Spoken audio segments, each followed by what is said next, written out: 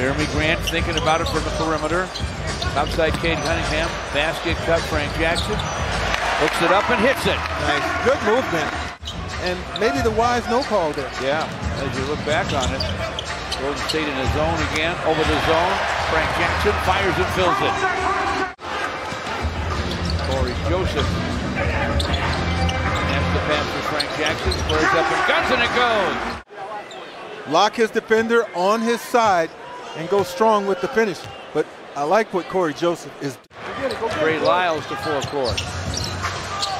Frank Jackson able to size it up and knock it down. An assist. They're moving the ball and getting to the right spots time and again. From the corner, another for Frank Jackson.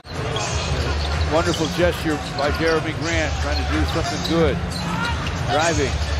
Frank Jackson went lefty and laid it in. 11 point Golden State lead. Frank Jackson. Another triple for Frank. Here we go.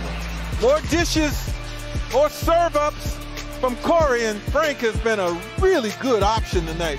Folks, he's 5 of 9 from Triple Land. Gives to Jerami Grant. Good ball movement. Frank Jackson with the drive. Met at the rim, knocked down, no call, but he scores it anyway. Killian Hayes, and he's going to the bench in pain. Yeah. Frank Jackson showing his strength. The Pistons keep pushing, keep driving.